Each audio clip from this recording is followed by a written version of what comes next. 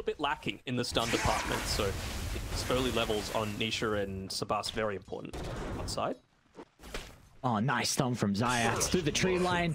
Will clip onto Slardin, and I had an incredible game one, and he's going to continue that form into game two as Zayats finds first blood. A little low on the old regen, though. Don't Top have lane? any coming out.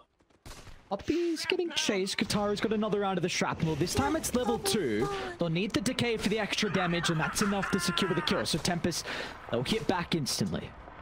It actually went the point in the impetus, which I'm not sure. Distance away. Zayats will not be able to catch up. He does have a Mango and the Impale available. Slardin, what's the play? You gotta be able to sidestep this. Zayats is ready for it. The stun. Fissure, oh, he's too slow. Zayats finds his second kill, and importantly, he gets all the solo experience. the secret. Kind of similar to last game. They don't need to win the lanes necessarily. Obviously, it's a bonus if they do, but uh, it's just important to get that early farm because you've got these times. Radiant are Dude. Bumpy. I was watching the entire time. I'm like, I don't know if he's gonna have enough damage. Eh?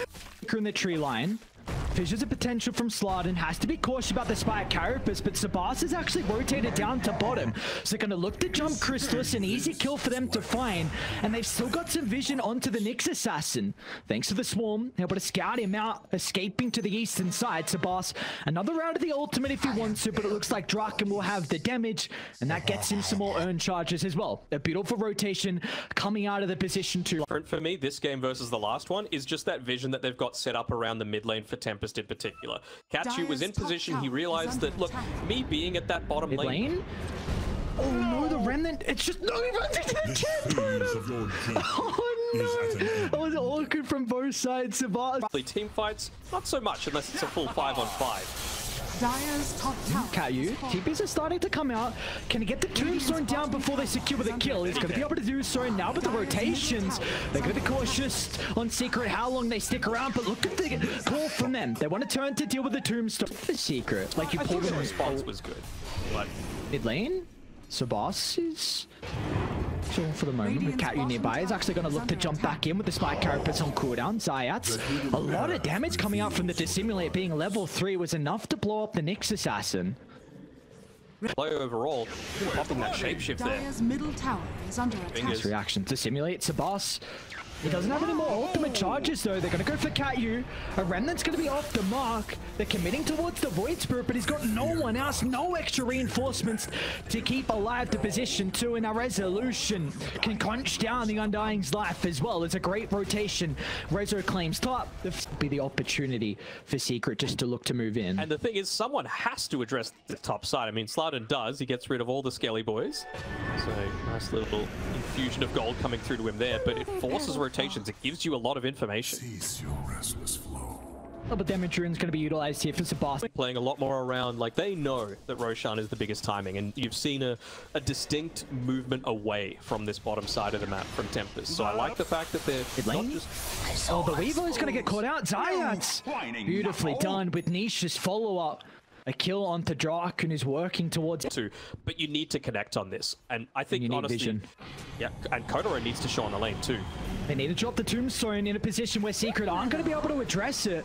So the high ground for the moment inside the river they go. Slardens in with the Echo Slam onto the Storm Spirit and the damage is enough. Sabas has been able to blow up Nisha, but can they get out? As the Impale clips the Void Spirit, they've got the damage coming through from the Vendetta, but they haven't addressed Kitara on the Sniper. Freely right-clicking from afar is the position one on Tempest, and it means that they'll come out on top in the trade, and they might even get resolution as well. A Pogo stick forward, Slardin's got the extra control, and Draken will just slip past the wall that blocks him out as Tempest. An incredible fight from them.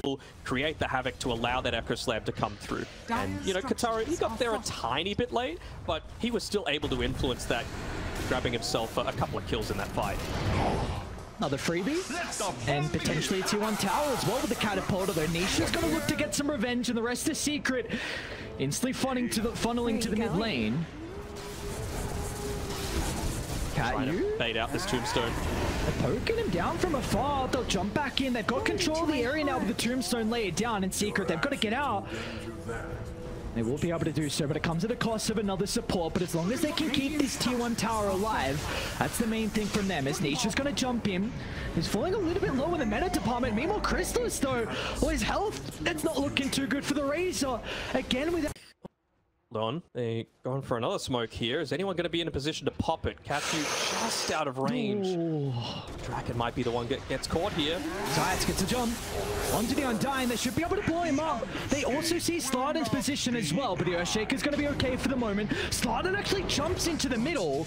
They don't have the control at the moment to hold them back. They'll kill off the Nyx Assassin, but this gives a free fight for Nisha. A long zip in to be able to deal with the Earthshaker. And now Tempest, they're in full retreat. Oh, Resolution? Is he in some trouble? Kataru nearby. Gotta be cautious though, because Zayat's gonna hold the back. The damage onto the sniper. Popish is freely right-clicking the impetus. Oh no, respect Seeker. They entered their domain, and our Crystallis is still in the damage. Slardon's gonna be in with the Echo Slam, clipping just onto the Storm Spirit. Nisha, zip out, and he'll be okay. But now you need to look to address the Razor, as Crystallis has gone untouched. Themselves. Such a winning position. See what they can do now in Tempest. They need an area to be able to take a team fight. Found him again. Zayat is going to look to take that away. Onto the Undying. They go. Oh, my Carapace! Oh, it's perfect. Zayat for the chain control, but Tabas is okay for the moment. The damage, they'll turn it back around, dealing with the first life on the Storm Spirit and Tempest. They got to get out. Sabas is not in fighting shape with all the ultimate charges on cooldown. They'll turn to Slardon instead. The easy kill onto the Earthshaker. They're to be cautious with their positioning because Kataru's in trouble, but not messing around. A BKB will protect the sniper inside the base. They go. They don't care about how the deep they dive because they know that Tempest are not in fighting shape. A secret just swarmed inside their own territory, and they'll find all five. Uh, S- Sabas? Now with ultimate charges into the high ground, Dyer's no one's going to look to move on over. With the tombstone dropped, it's going to be difficult for Secret to take the fight nearby. Hitting. The resolution, he'll use the shapeshift. Nisha's even considering about entering towards the backline though. Draken's onto Crystallis. Trying to force out an early use of the BKB. Towards the triangle they go though as Nisha's onto Slardon. As it back in and out. Just a poke and prod with the summons is enough to get the kill. Zayat, however, he's separated from the team. And they should find an easy pickings onto the Nyx Assassin. So in the end, Tempest Highest damage components. He's just been zipping back and forth. Around the triangle slot and gets a really good two-man fissure that clips Nisha as well. They're putting a lot of their attention to try and bring down the Enchantress and puts the boss in a compromised position. Zayat. You can always trust this man. Look, in this game right now, but they're playing together so that if someone does get jumped, at least you've got the boys there to help. Guitar, I was gonna say showed for a second mid. They're gonna look to jump Crystallis though. Zayat's in once again with the spike. Carapace and been able to catch up the sniper. There's no hesitation from Nisha. Jumping Kataru. And meanwhile, Sabas has been caught out as well. Secret. Once they sense an opportunity, they Dyer's pounce. And Tempest have lost three. And soon their objectives are gonna fall as well. Yeah, for sure. They, they had the right idea. I think they just committed way too heavily. As soon as you... Oh, Here I am. they go for an even deeper dive here. Nisha, not even needing mana, he says. tower is. Put you down and, well, it'll be enough. In this game right now, but they're playing together so that if someone does get jumped, at least you've got the boys there to help.